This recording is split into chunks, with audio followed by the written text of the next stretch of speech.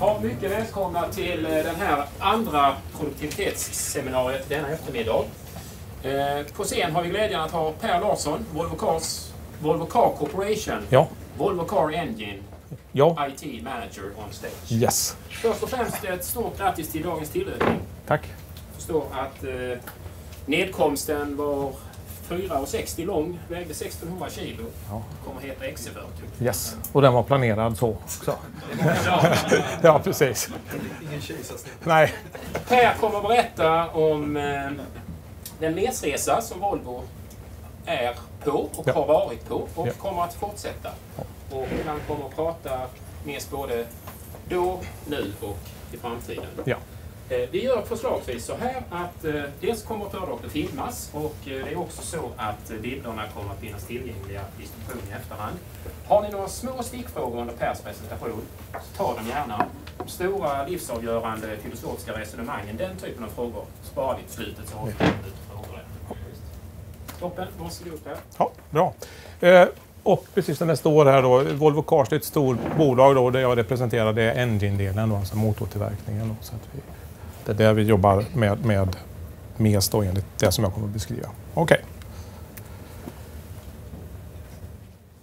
Ja, vilka är vi då? Jo, vi är ansvariga då för motor och komponenttillverkning i Europa och vi har ett globalt program och vi har också ett funktionellt ansvar då som, som sträcker sig över hela motorproduktionen då inom Volvo Cars. Och det innebär också då att vi har ansvaret för fabriken i Kina. Då. Det som vi kallar för, för Changaku eller China Engine Plant. Fabriken i Skövde då, den kallas ju för Skövde Engine Plant. Och vad gör vi då? Jo, vi, vi gör bearbetning utav cylinderblock, cylinderhuvud, crankshaft, camshaft. Förlåt, nu blir det, förlåt, nu blir jag ju svengelska. Eh, cylinderblock, cylinderhuvud, eh, kamaxel, vevaxel och eh, även då så att säga intern... Ehm, Eh, vi ser här. Ja. Intern och extern eh, motorsammansättning. Då. Ni kommer se det längre fram i bilderna. Vi skickar också komponenter mellan fabrikerna. Eh, I Sverige då så arbetar ungefär 1900 personer och i Kina så arbetar ungefär 600 personer. Och chef för det här är Oskar Falk och det är han som ni ser på bilden. Då. Eh, tittar vi på fabrikerna då så har vi Skövde nere i vänstra hörnet och vi har Changaku uppe i det högra hörnet. Och eh, jag var på ett, eh, en dragning igår och fick jag faktiskt reda på varför fabriken i Skövde är gjord som, som synes på bilden då, som någon sorts kam. Och det var då att när den designades i slutet på 80-talet här så fanns det en idé om att alla, oavsett om man var arbetare eller tjänstemän, skulle ha tillgång till ett fönster. Man skulle alltså kunna se naturen, man skulle kunna se träd. Eh, fabriken i Kina är uppbyggd på ett mer traditionellt sätt, det är en fyrkant. Då. Men den är väldigt ljus och fin ändå, för man har liksom jobbat med andra bitar här i taket och sånt. Då. Eh, som sagt var, fabriken i Skövde från slutet av 80-talet, fabriken i Kina då, ritades och byggdes 2011-2012. Fabriken i Skövde, kapacitet ungefär för 530 000 motorer. Kapaciteten i Kina ungefär 200 000 i dagsläget. Eh, Changaku ligger ungefär 18 mil norr om Peking. Så det är ganska nära, men det är ändå en bra bit ifrån Peking. Kommer komma tillbaka lite grann till det. Eh, fabriken i Skövde är på väg att uppgraderas till 600 000 eh, 600 enheter per år och fabriken i Kina är också under upp, Eh, upprampning, uppbyggnad då till 300 000 vilket gör att vi inom snart kommer kunna göra 900 000 motorer. Eh, tittar man på de här så ser man också då att vi har i eh, Kina då så har vi någonting som heter VA4 då, det är en fyrcylindrig bensinmotor. Vi har också något som heter GAP3 som är en trecylindrig bensinmotor. Och kopplat då till det här kapacitetssteget i Skövde upp till 600 000 det är att vi också kommer att göra trecylindrig bensinmotor då, någon gång under 2019 i Skövde. Eh, lite grann utav de eh, likheter och skillnader som finns då. I eh, Skövde så är genomsnittsåldern lite drygt 40 år. Om vi tittar på Arbetare tjänstemän i Kina är den 26 år. Det är en högre andel kvinnor i Skövde jämfört med Kina. Eh, det är mer mångkulturellt i Skövde. Vi är 16 nationaliteter. Kina tror att det är fyra om vi räknar med oss svenskar och någon annan då som jobbar där också. Fabriken i Skövde är dubbelt så stor som den kinesiska. Och för er som är lite intresserade av produkterna då så kommer jag visa de här men jag kommer inte gå in något djupare utan ni kommer ha bildmaterialet här så får ni eh, roar med att imponera på era vänner och eh, grannar och bekanta här att ha ganska bra koll på hästkrafter och vridmoment och sånt.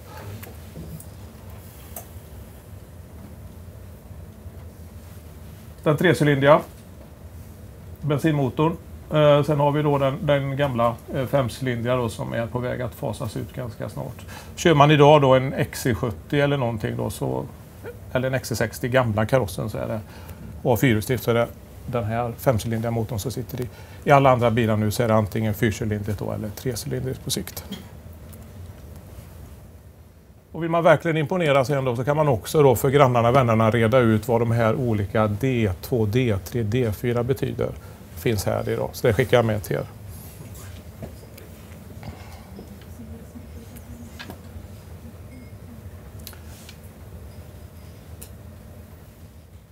Ja, disruption då. Eh, jag hittade den här bilden när jag, eh, efter att jag hade pratat här med Lars om att vi skulle sätta upp ett bildmaterial och vi skulle försöka beskriva den här resan. Och jag googlade lite och då, så här, det jag fastnade för då, det, det, var så här att disruption, då, det försökte översätta med då, en omstörtande förändring. Och, och, det är väl det här jag tror att några av er kommer säkert att känna igen er då. Att vi, vi, tror ju här att saker och ting är linjära men det visar sig att över tiden att de inte är det utan ökar ju eller avtar exponentiellt. Och om jag läser då, så här, försöker översätta det hyfsat då, och i första läget då så antar vi att förändringen då är linjär och gradvis. Och då justerar vi våra prognoser när sakerna accelererar. Slutligen då i en fördubblande cykel går vi från okej okay till att hamna i problem. Vad vi inte fattar då är att systemet hela tiden har varit exponentiellt och i tysthet då fördubblats eller minskats. Så tar vi då beslut utifrån de här och sen visar det sig att sakerna går i den här vägen. Oj, så riskerar vi att hamna i problem. Eh, jag kan inte säga att vi, vi hade sett den här modellen när vi fattade våra beslut, men det kanske kan förklara en del av det som har hänt. Då. Och när jag säger när vi tog våra beslut, då backar vi tillbaka bandet här till 2011-2012 någonstans, då vi började titta på den här resan. Men det som har hänt då, det är att i Skövde då så har motorproduktionen ökat då från 2012 412 000 enheter, 413 upp till 536 000. Det är en ökning på ungefär 30 procent. I Kina då som har gått ifrån noll upp nu då till ungefär 120 000 2017 och jag tror faktiskt då att den här kommer revideras alldeles dagarna så är det ytterligare några tusen till. Så det är en ökning då med 50 procent mellan 2016 och 2017 ungefär.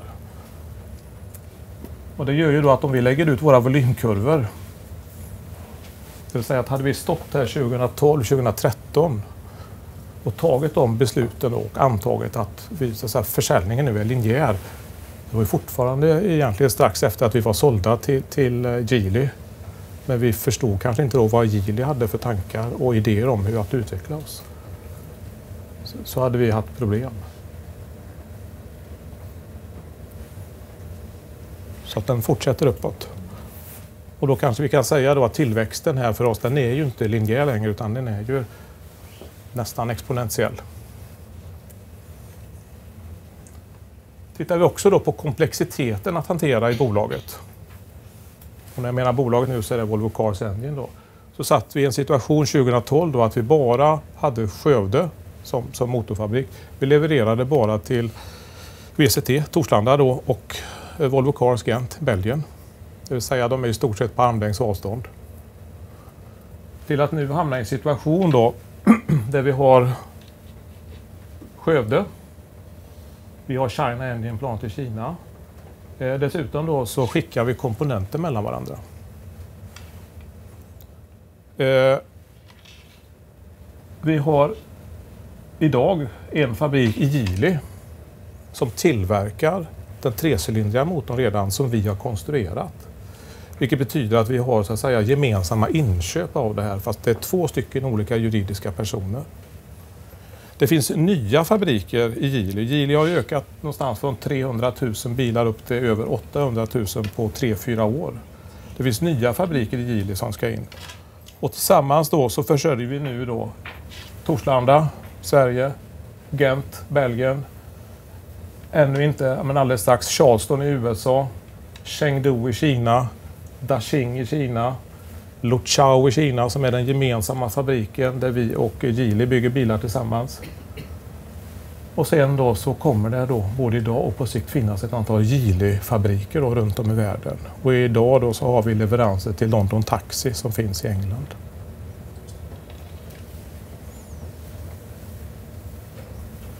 Också nästan exponentiellt.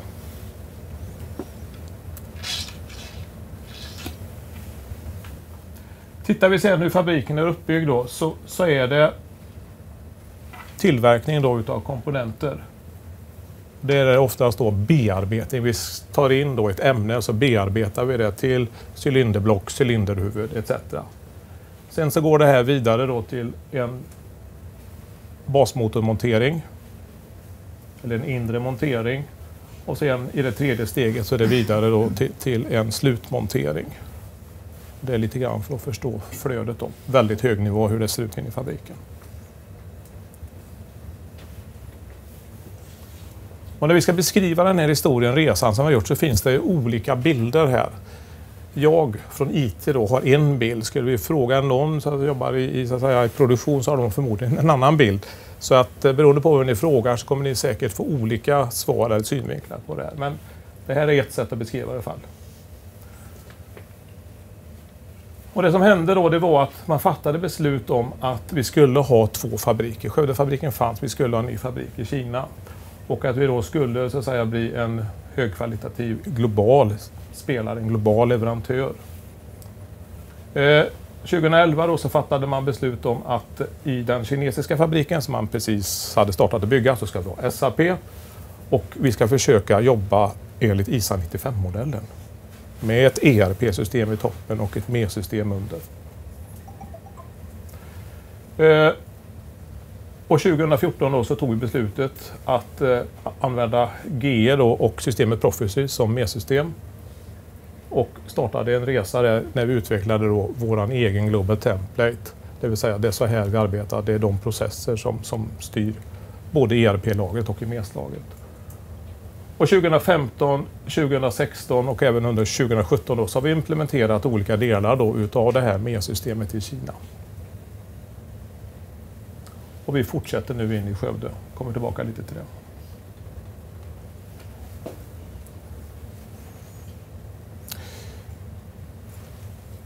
Och ur ett tekniskt perspektiv, ur ett IT-perspektiv då, så, så var det, så här, varför valde vi varför valde vi att, att skaffa SAP? Varför valde vi att skaffa ett MES-system? Jo, det vi konstaterade det var att i Skövde då så kör vi och lägger oss på OpenVMS. Vi har VCOM som kommunikationsprogramvara. Vi har haft Volvo IT som hovleverantör där under decennier. OpenVMS finns knappt i Kina. Och när vi såg då att vi skulle gå in, och sätta upp en fabrik som skulle ha höga volymer så att det skulle bli väldigt svårt att ifrån Skövde kunna så säga, att säga att vi tar ett 24-7-ansvar för Kina. Oavsett om det är vi själva, då, Volvo Cars IT, eller om det är Volvo IT som jobbar med det. Det, det kommer inte att funka. Och Volvo IT då, under den här perioden var också då i någon typ av transformering. Man hade fullt upp med att fokusera på Volvo-gruppen. Vilket gjorde att vi hade svårt att få så att säga, tag på och köpa ytterligare kapacitet. Och det gjorde då att vi i det läget sa så här att, att vi kan inte så att säga, rulla ut de lösningar vi har i Skövde i Kina då, för det kommer inte att hålla. Vi kommer knäcka oss. Alternativt att vi försöker vända oss till Volvo, de kommer inte fixa detta. Och då sa vi då får vi köpa produkter och vi får ta hjälp av globala spelare för att göra det här. Och när vi hade kommit dit också då, så såg vi så här att men då finns det en möjlighet sen att rulla hem den här lösningen till Skövde. För att om Open VMS och Veco är declining, då är den ju inte även i Sverige förr eller senare. Så det var så tanken föddes till detta. Eh, den stora utmaningen då, kopplat till det här och det vi såg på innan, det är ju då att det som hände här för oss, det var ju att vi byggde en ny fabrik. Vi rekryterade ny personal. Vi installerade nya bearbetnings, nya monteringsliner i Kina och vi införde en ny produkt. Den här fyrcylindriga bensinmotorn. Och, och, det här har ju varit ett av problemen. Alltså vad, vad är det nu för referenspunkter som vi ska använda? För allt vi gör är nytt. Okej, okay, det liknar det vi gör i Skövde på, på, på håll, eller, men det är inte exakt samma. Så det här har ju varit en utmaning att få det här att gå upp och, och fungera. Och fungera på ett bra sätt. Men samtidigt är det också så att om vi inte hade gjort det här vid detta tillfället, när skulle vi då gjort det? För vi ser ju nu och kommer att se sen när vi vänder oss mot Skövde vad utmaningen är att i sådana fall göra det i en brownfield, det vill säga där du redan har pågående verksamhet.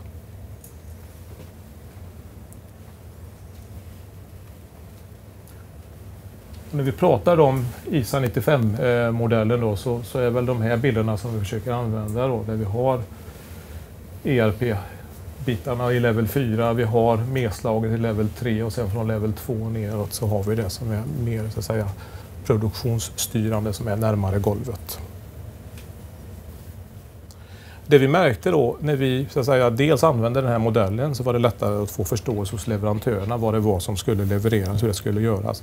Vi fick också då göra en beskrivning av våran legacy enligt den här modellen. Det var också nyttigt för oss.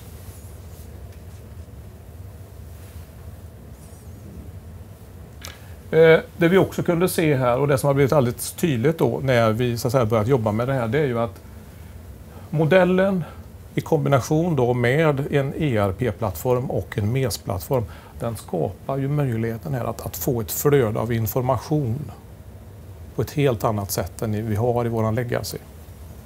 Det vill säga där vi kopplar ihop den här informationen. SAP-systemet, ligger det ovanför level 4 eller börjar det gå in där? Ja, det ligger i level 4. Sen finns det väl till och med, om man ska vara riktigt, så finns det grejer i SAP som ligger i level 5. De, jag, jag tänkte att det borde nästan ligga finns, finnas något över också? Ja, det, det, gör det till viss del. Men, men är, är, det inget vad du kallar... Tar SAP hand om hela det du kallar level 4? I stort sett, ja. Det, det finns en bild lite längre fram, vi kommer tillbaka till det. Ja, Precis. Eh, lite grann mer här då vad, vad, vi ser som finns i de här olika bitarna. Eh, och det är så här inom VCC att vi använder SAP olika mycket. Man kan säga att alla, oavsett om det är R&D, om det är bilfabrik eller vi själva, så använder vi SAP. Sen använder vi SAP olika mycket. Men, men SAP är det föreslagna systemet som, som ERP, men av olika anledningar så kan man gå fram olika fort. I level 3 då så är det vi och Changaku idag som, som går då för så att säga, en köpt lösning. Bilfabrik använder fortfarande legacy. Och närmast golvet här då så, så, är det mer så att säga unika lösningar beroende på om man tillverkar en bil eller om man tillverkar en motor eller som i Olofström att man tillverkar karosskomponenter.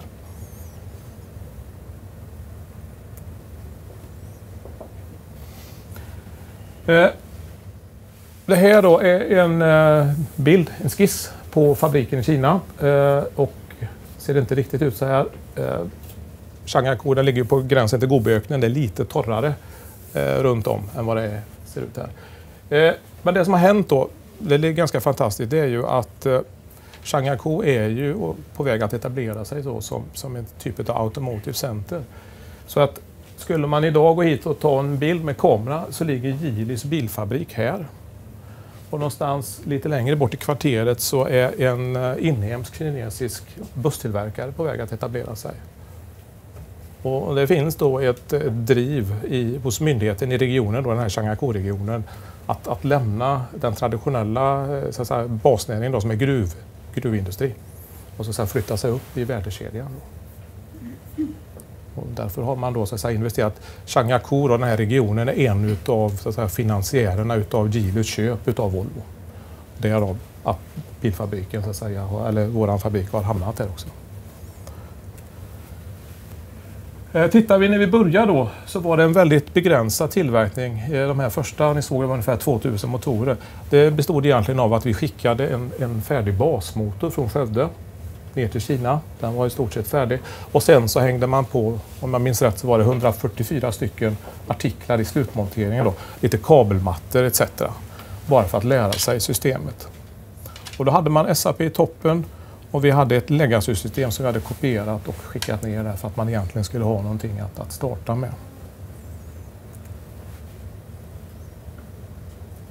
Idag så ser setupen ut så här. Vi har Oj, nu ska vi se. Backar vi, vi har SAP uppe till vänster. Vi har en koppling då till eh, medsystemet GE för eh, bearbetningen för den inre monteringen. Nu var en bild färre, nu åkte vi där. Ja, just det. Så vi ser. Så.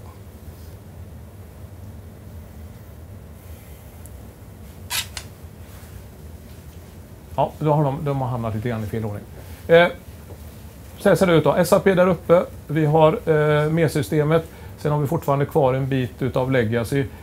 Eh, vi har Maximo-systemet och vi är på väg in då att ha Teamcenter, Siemens-produkten då som PLM-system, alltså Product Lifecycle Management-system. Och det här är då den, den gemensamma kartan och det är dit vi siktar med båda fabrikerna.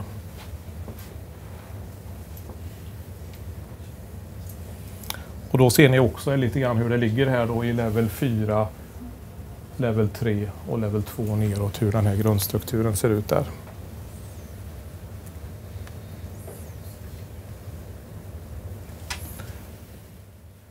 Erfarenheterna då ifrån China Engine Plant, det var ju att än så länge så är det ganska få varianter och det är få kunder jämfört med Skövde. Eh, Crossshippingen att vi ska skicka grejer från Kina till Skövde, det har varit med, som en, ett, ett, eh, det har varit med från början. Vilket har gjort att det var lättare att göra det där i de systemen. Eh, när vi varit i Kina också så pratar man ibland om att det finns något typ som är, som är så att säga, Chinese Automotive Experiences eller Chinese Automotive Best Practice. Men vi ser ibland att, att det är inte riktigt applicerbart för oss för att man kommer väldigt, man, det finns ju många volymtillverkare här som gör så att säga stora serier av samma bil, av samma motor. Vi är ju faktiskt i grund och botten en enstyckstillverkare här. Så, så, så, så här, vi har med oss en komplexitet i vårt sätt att tillverka här som gör att det är svårt att säga att vi ska göra det på det kinesiska sättet. Eh, det som också händer då det är väl så att säga idag att våra kinesiska kollegor kanske tycker nu att det här som vi tar med då det är lite vad ska man kalla det? Det är lite överarbetat och det är, för mycket finesser, för mycket funktionalitet. Men det man ska ha i minnet då det är att när vi designade det, när vi gjorde då våra blueprintar så var det med sikte på att klara de mål, de utmaningar som är 2020. Inte de utmaningar som är 2016 och 2017. Så det finns ju, så att säga, det går ju att växa ytterligare den här kostymen då. Men kanske just nu då, med volymer och så att säga, den komplexitet de har i produktionen då, så kan man uppleva att det här är overkill om man kan använda det begreppet. Det vi ändå upplever här är att, att MES då är en integrerad plattform och den är stabil. När vi kommer titta sen hur det ser ut i Skövde så kommer man förstå att, att där har vi mer, så att säga, där, där är det mer det är ett mer splittrat landskap. Det är mycket information som skickas mellan system. Här är det så att säga, mer en integrerad informationshantering i plattformen. Och sen finns det ju saker här i, i Kina också som, som man kanske då inte eh, ser och känner. Det, det är, det säga, staten, myndigheterna är, är med inblandade på ett annat sätt. Styr, supporterar det vi gör här. Eh, det finns, eh, så att säga, det finns ett kinesiskt kommunistparti som, som finns här som påverkar. Finns det något att säga om utbildningsnivå eller vad ska vi säga på de som jobbar? Om det, har det varit ett problem? Eh, som ni såg då så var ju medelåldern väldigt ung, 26 år. Alltså. Så de är oftast då på, på tjänstemannasidan så är man unga och välutbildade och, men kanske inte med så mycket erfarenhet.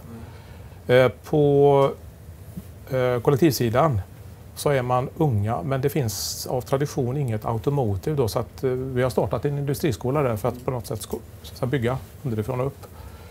Men man har inte så mycket industrikunskap, industribakgrund då. Så det, det Men finns... det är attraktivt att jobba här. det är attraktivt att jobba här ja. liksom. Ja, det får vi.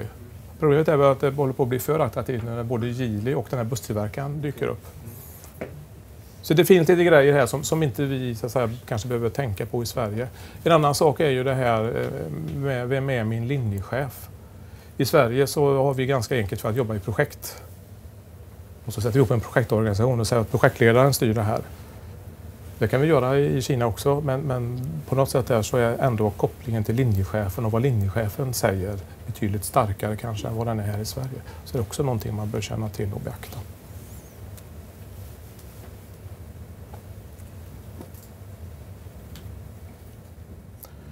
Skövde, eh, det är ju en brownfield. Så här, vi har pågående verksamhet.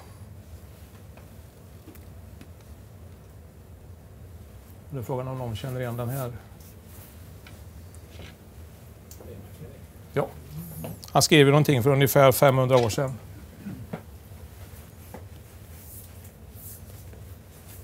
Där får ni läsa själva.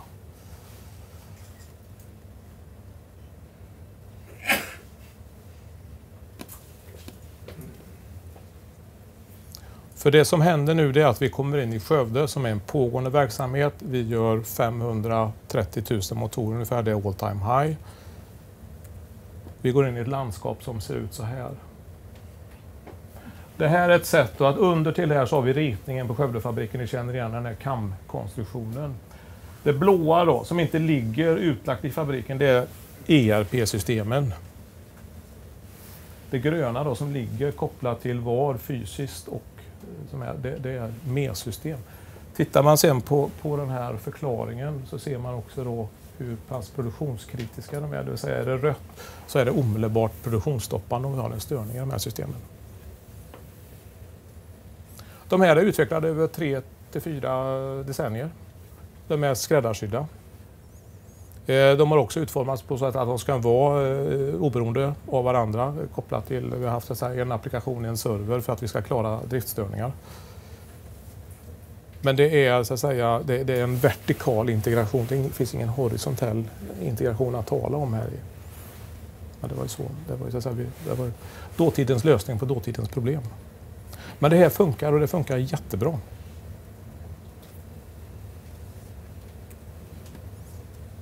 Tittar man sen lite grann då så ser vi att ska vi försöka ha nu ett informationsflöde i bolaget från så att säga att vi börjar tänka på vad vi ska producera hela vägen ner till eftermarknaden så ser ju vi då att, att vi, vi får ju inte informationen att flöda här. Vi har ju brott, avbrott i, i flödet. Och utan att gå in för djupt i det här eh, så, så ser ni också att här, här ligger väl så att säga eh, det ligger Excel-ark. Det ligger Word-dokument, det ligger Excel-ark här längs hela vägen. Och det betyder ju då på något sätt att man knappar in någonting, man läser av någonting, man knappar in någonting. Ett slöseri med arbetskraft och pengar. Att inte få det att flytta.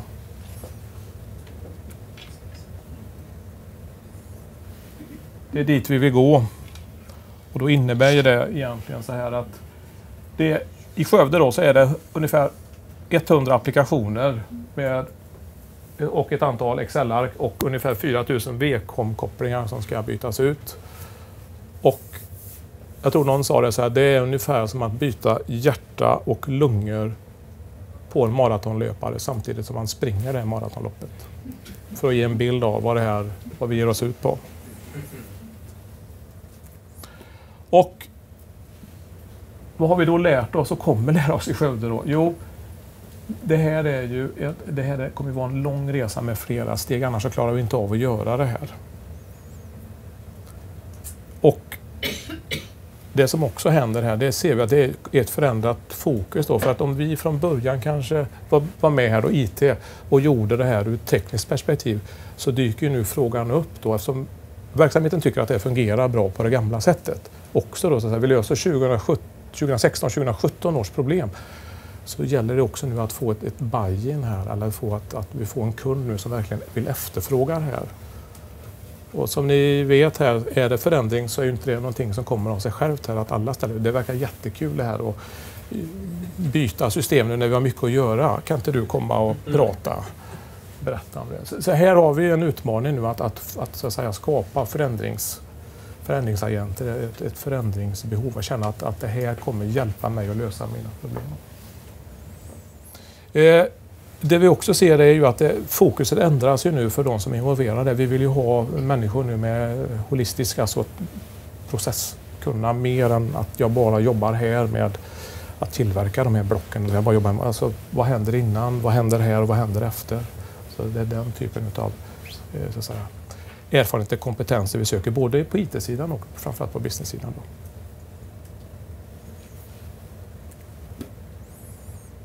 Eh, saker som också blir alldeles uppenbara här då, när vi börjar titta på Skövde, det är att det här gamla sättet då, med alla de här småsystemen, till exempel namnstandard, vi har lagt jättemycket tid på att bara förstå vad ska det heta i de nya systemen.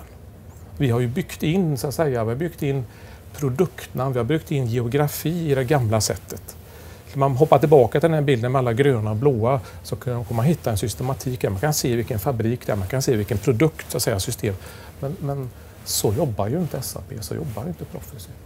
Så bara att enas om vad är, en work, vad är ett workcenter, vad är ett work unit, etc. etc. Och, och sen dessutom då, eftersom vi har köpt två olika produkter så är det inte samma sak i SAP och i Profficy. Så det är också en sak. Något som det här också har ställt, eh, satt i fokus, det är masterdata. Vad är masterdata? Vem hanterar masterdata? Var är den var, var lagras den? Eh, det som blev uppenbart i Kina då, det var att eh, med de förberedelser som man kanske då hade gjort i Skövde så försökte man starta produktion.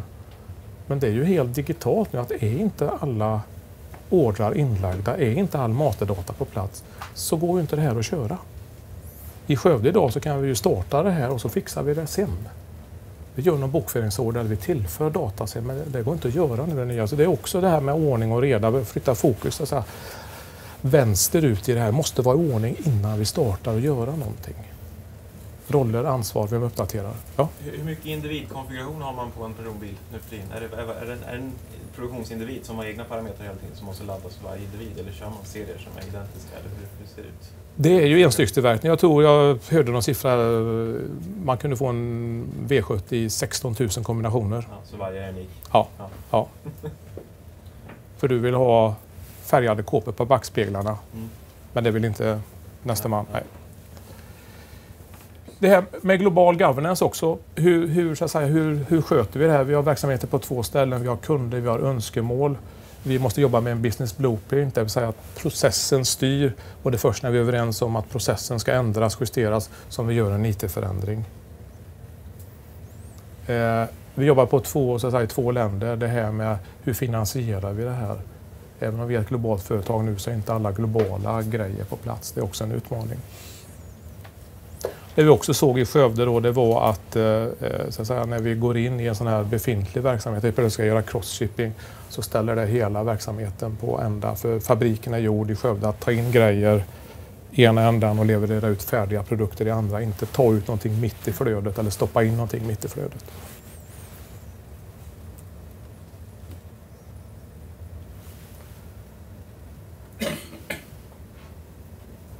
Från lokal till global från egenutvecklat till köpta system. Och det ska då hjälpa till att få en business setup här som, som, som, som till slut egentligen då ur managementsynpunkt att det här är bara en produktionslina. Sen att motorerna kommer från Changaku eller kommer från Skövde men det här är ett. Det är det som är syftet. Ja. Jag har en fråga om SAP-setupen. Ja. Eh, jag har inte uppfattat att du har sagt det, men det kan hända att du har sagt det. Eh, har ni en och samma klient och olika plantor? Eller har ni även olika klienter? Eh, vi kommer ha två olika klienter, en i Kina och en i Sverige. Men idag har ni det inte? Eh, idag, har vi, idag kör vi, vi kör mer SAP i Kina än vad vi gör i Skövde, så det är inte riktigt samma sak. Men det, det är så att säga, det är en maskin för, för Sverige och det är en maskin för Kina. Ja. Vad är skälet till att ni väljer att ha olika klienter? Pass.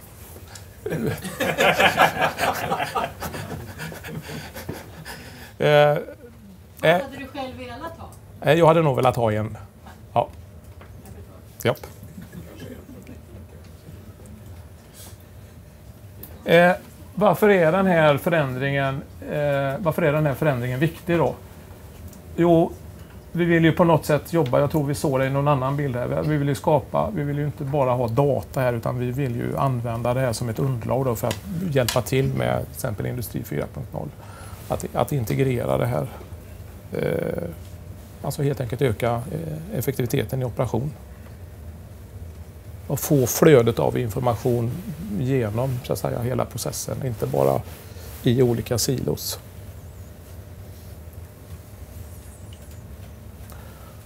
Och det vi också då hoppas och tror då, det är att det här ska hjälpa att, och stödja oss i de utmaningar vi har. Då. För att tittar vi då på Volvo Cars Engine så, så är det här som, som så att säga ligger då, det är ur ett businessperspektiv. Då. Vi, vi ska till exempel nu då, vi ska bygga där det konsumeras. Det vill säga, har vi en bilfabrik så ska vi också försöka tillverka motorerna i närheten. Vi jobbar givetvis då med Operational Excellence att hela tiden förbättra oss.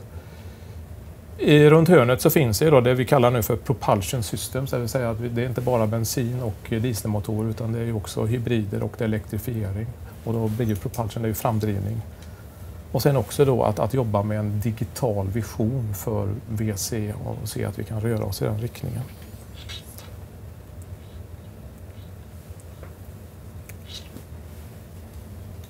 Från en planta till en multiplanta, standardisering, KPI, visualisering, kunna hantera elektrifieringen. Det är nya krav på tillverkningen, spårbarhet, ledtid. Det tar 60, 60 dagar att skicka någonting från Skövde till Changaku. Var är det? Var det något fel på det vi skickar? Var är grejerna? Det finns mängder med nya frågor att besvara som vi inte behöver besvara 2011-2012.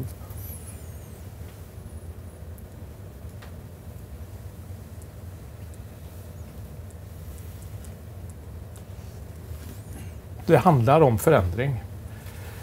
Teknologin, det orangea, är bara en liten del. Och det vi ser då över tid är att, att vår uppgift, då, vårt, det vi gör på IT, då, det har förändrats från att mer jobba med system till att faktiskt hjälpa då både businessen i Changaku och businessen i Skövde att förstå vad systemen kan göra. Så att man så att säga lyfter blicken och förstår vilken möjlighet det finns i det här och inte bara titta så gör vi nu utan hur ska vi möta 2020, hur ska vi möta det som är bortanför 2020. Så det är lätt här ibland att bara stirra på tekniken och säga att det, det, vi jobbar mycket mer nu än för några år sedan med de här mjukare frågorna.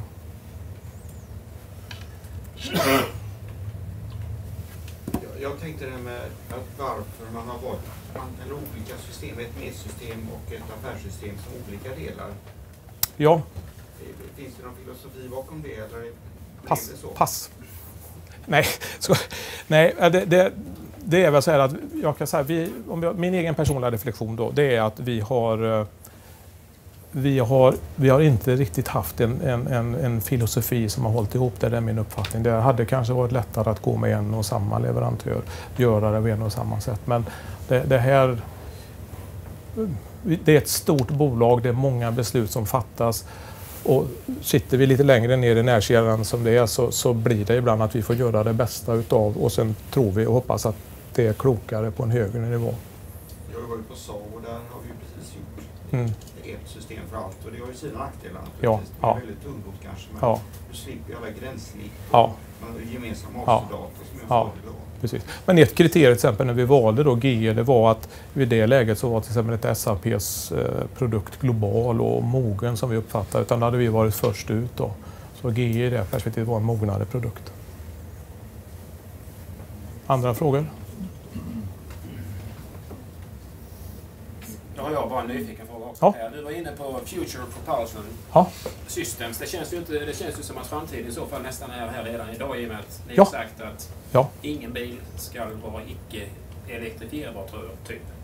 Nästa år. Mm. Hur kommer elmotorer in i Eh, vi, vi, eh, ja, men vi, vi, eh, jag får väl inte berätta för mycket, men eh, vi hoppas ju här att vi ska leverera ut eh, elmotorer eh, ifrån Skövde också, vad det lider. Vi ska ställa om fabriken.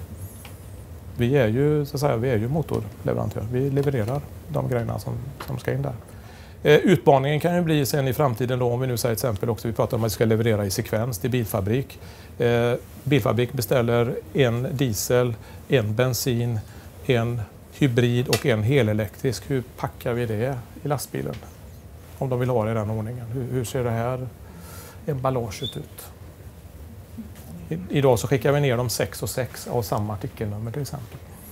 Så det här, det här finns utmaningar runt hörnet att, att lösa detta. Men har ni en bra konfigurator runt alla de här beställningarna med era system?